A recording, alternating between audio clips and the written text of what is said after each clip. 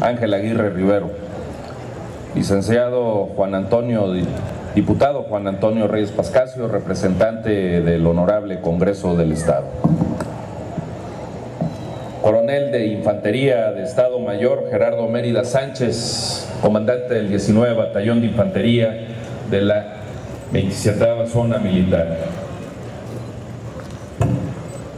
Licenciado Víctor de los Santos Valencia, presidente del PRI estatal.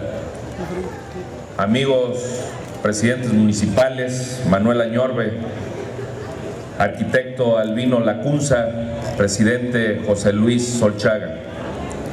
Señores presidentes del Comité Municipal del PRI, del Comité Municipal del PRD, representantes, amigos del Partido Nueva Alianza, señores expresidentes municipales, señores comisarios municipales, funcionarios federales, estatales.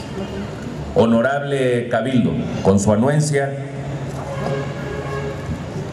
doy cuenta de este tercer informe de gobierno, que es una colaboración republicana entre los poderes públicos donde la certidumbre jurídica ha sido el pilar fundamental de nuestra vida económica, social y política, es así como cumplo con el mandato popular de los iguatanejenses.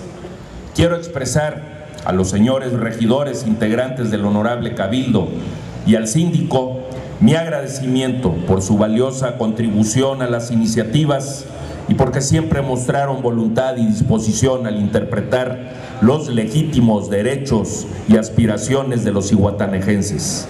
Gracias a ustedes, durante este año se lograron importantes acuerdos en las 16 sesiones de Cabildo, donde por unanimidad se lograron 38 acuerdos importantes que impactaron de manera directa el desarrollo comunitario en áreas sensibles como la educación, la salud, la cultura y la seguridad.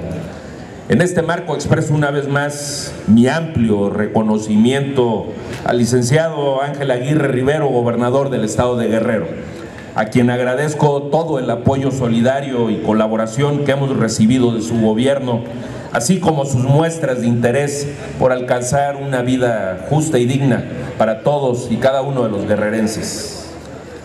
A las dependencias federales y estatales con sede en nuestro municipio, les agradezco su valiosa contribución por los programas, políticas públicas y acciones relevantes efectuadas en nuestra comunidad. A los comisarios, delegados y presidentes de colonias, les agradezco también todo el apoyo que han brindado a sus representados y al ayuntamiento que me honro en presidir, ya que siempre han actuado en un marco de respeto y civilidad, lo que sin duda genera un clima de confianza y paz social. Quisiera pedirles, me permitieran reiterar en este momento mi agradecimiento a una persona muy especial, Adriana, que ha sido una esposa solidaria, amorosa y compañera de mi vida, que junto con mis hijos me han dado cariño, comprensión y fortaleza, quienes son, sin duda alguna, mi diaria inspiración y motivación para el máximo de mis esfuerzos. Gracias a la unión Gracias.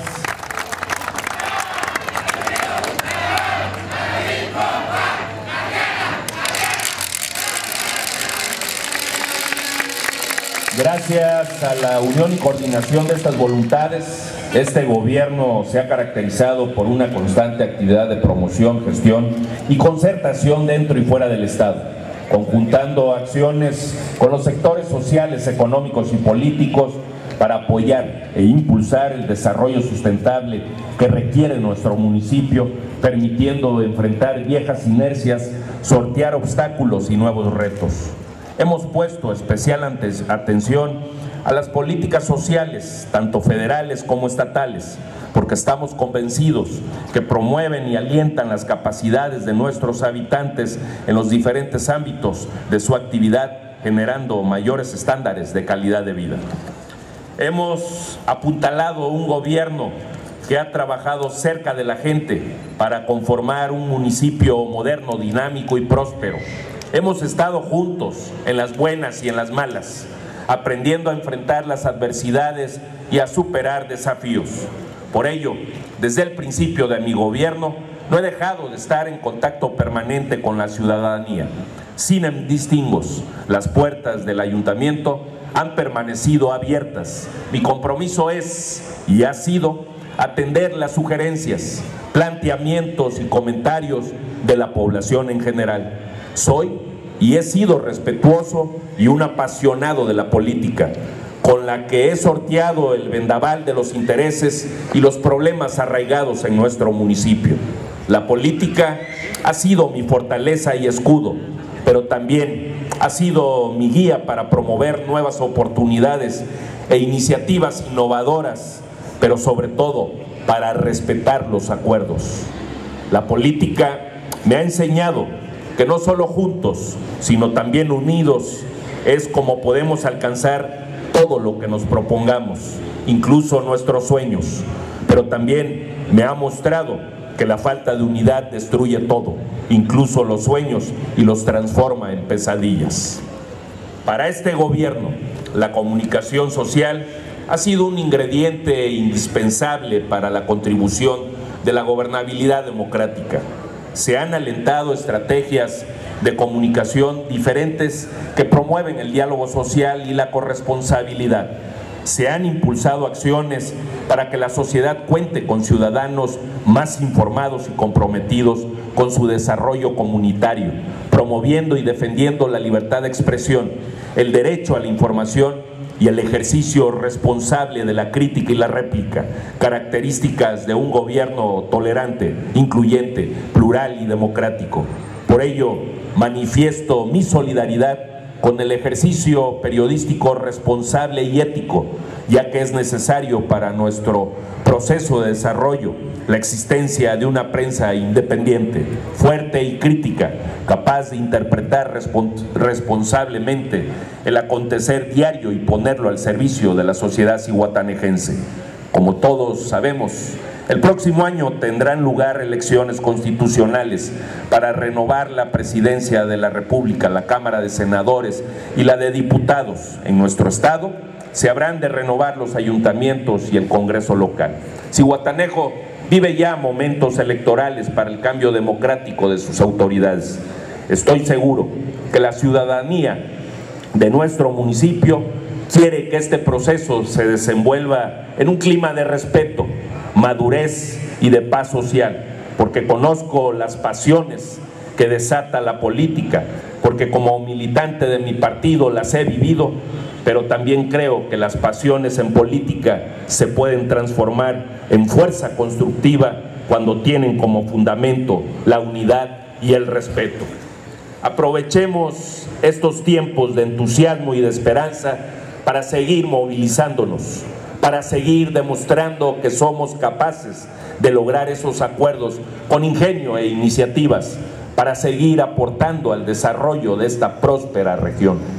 Si bien es cierto que desde la perspectiva jurídica no soy una autoridad electoral, también es cierto que no puedo ni debo eludir mi responsabilidad política al ser un ciudadano a cargo del gobierno municipal y como cabeza visible de un partido político. Por ello, con toda claridad les digo, con ánimo de conciliación y respeto a las discrepancias, que durante este proceso hablaré claro y fuerte para expresar mis puntos de vista en relación a nuestra situación política.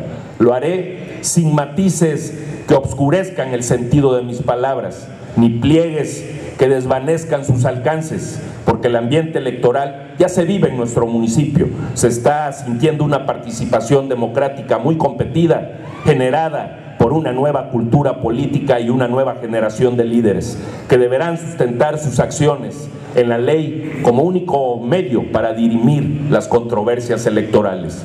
Por fortuna, hemos dejado atrás, por el costo que ello significaba, las presiones y prácticas que nos han llevado incluso a la violencia. Ahora es cada vez más cierto, lo que el pueblo decide en las urnas no lo anula el mandatario. Hago un llamado a los partidos políticos con presencia en el municipio que promuevan diálogos respetuosos con perseverancia y con buena fe de poner las acciones violentas que llevan dolor y miedo a nuestros hogares y descomponen la vida social. Los remedios a nuestros males deben ser políticos y legales y los incidentes electorales deben mirarse desde la perspectiva de nuestro Estado de Derecho. Que quede claro, sé como todos ustedes que la política es pasión, pero también debe ser paciencia, tolerancia y desprendimiento, y que debemos verla y sentirla como el arte de generar oportunidades para todos. No cederé en mi compromiso de encontrar soluciones políticas a los conflictos y, y, problemas vigentes. Lo haré en el perímetro de la ley. Seguiré buscando afanosamente soluciones que atiendan lo inmediato, sin diferirlos ni adelantarlos ni pervertirlos. Y aquí ratifico la posición que he venido sosteniendo en el problema que se suscita entre el transporte de los concesionarios federales y los concesionarios estatales. El llamado ha sido, ha sido a que se llegue a un acuerdo que permita satisfacer a ambas partes, pero también la posición de no concordar con los bloqueos que afectan definitivamente de lo que nosotros vivimos y comemos, que es el turismo. También Aquí sigo haciendo el llamado que hiciéramos y que es una posición de cabildo a la Secretaría de Comunicaciones y Transportes para que de una buena vez, más allá de los litigios y cuestiones jurídicas, se pueda resolver la concesión que se dio para la terminal portuaria Fonatur y podamos tener un dictamen de acuerdo al posicionamiento de revocación que este cabildo, que este cabildo ha pedido al SCT, que el gobierno del estado también se ha sumado y que el propio Congreso del Estado ha hecho un exhorto al SCT. La posición del Cabildo sigue siendo la revocación, porque esto es ya un problema social para Cihuatanejo.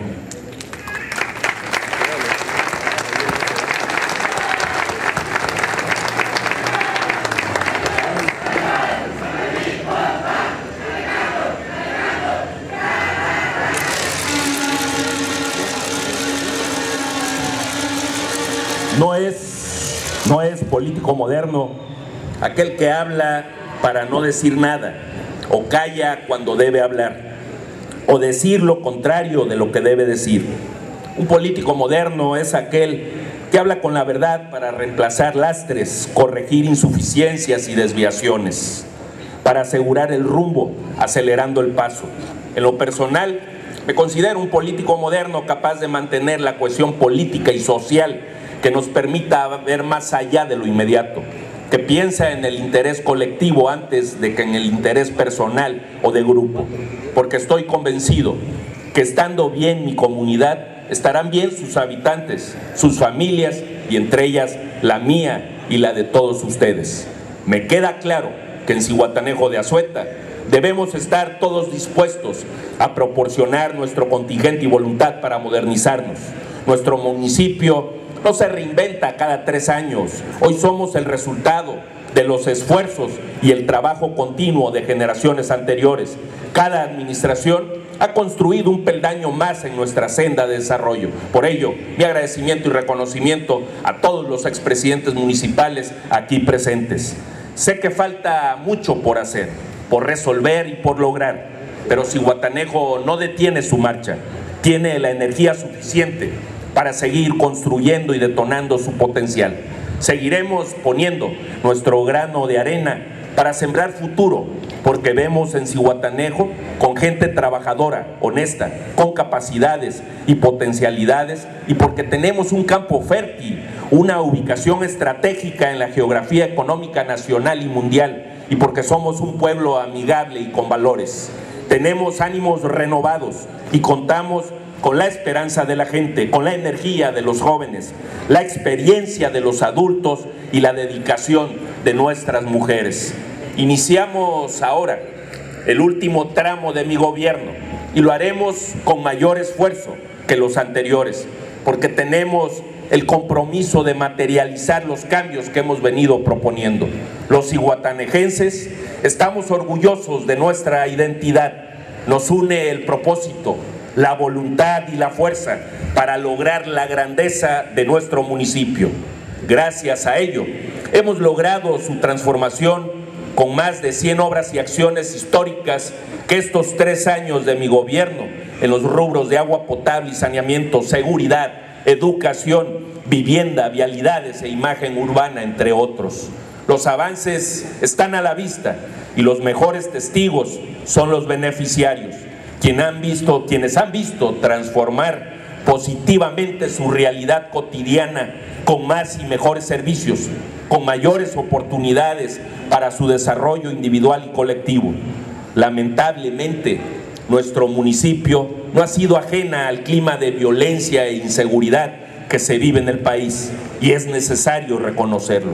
Al igual que ustedes, como presidente municipal, pero también como padre de familia, me preocupa la delincuencia, porque para ella no existen límites territoriales, políticos ni administrativos, por lo que sus efectos flagelan la paz y la tranquilidad social. Estoy convencido que Cihuatanejo de Azueta tiene un gran futuro por delante, tiene un enorme potencial que no ha sido aprovechado en su totalidad. Lamentablemente, se percibe un ambiente de incertidumbre y preocupación, y ese es precisamente el reto de esta generación, acabar con el miedo y renovar la esperanza, proponiendo un nuevo rumbo y visión para recuperarnos como un lugar seguro y de oportunidades para todos. Por ello, les pido que asumamos lo que ahora somos, una nueva generación de cihuatanejenses que no se resigna, que, no se resigna, que sabe y quiere demostrar que sí se puede, una generación que no se define por su edad, sino por su actitud, por su deseo de vencer las adversidades y contribuir para un municipio exitoso. Seamos una generación que aprende de la historia, pero que está decidida a escribir sus propios capítulos, ofertando una nueva cultura política en la que no se condone el pasado, sino que vea hacia adelante, convocándonos a todos a vencer las adversidades y contribuir para vivir en un municipio exitoso. Seamos una generación, una generación nueva.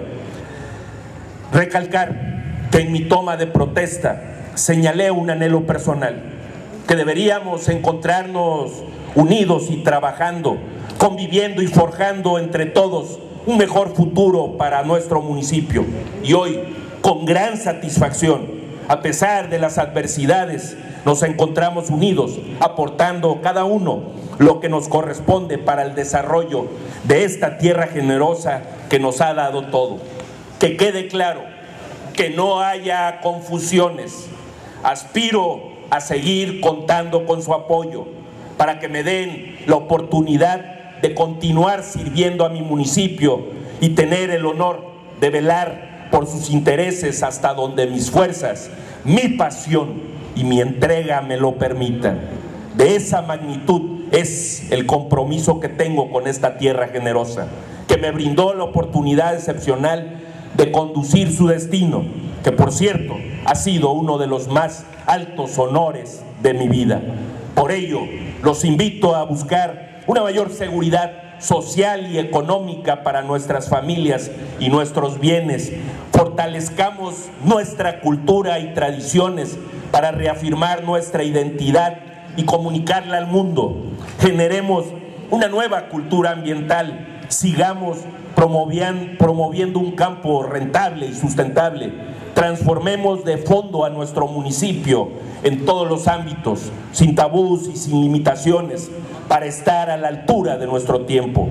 Seamos una nueva generación dispuesta a demostrar que Cihuatanejo de Azueta es un gran municipio en ascenso y despliegue de sus potencialidades, abierta al mundo, que asume con pasión y firmeza el compromiso con su gente. ¡Viva Cihuatanejo de Azueta! Muchas gracias.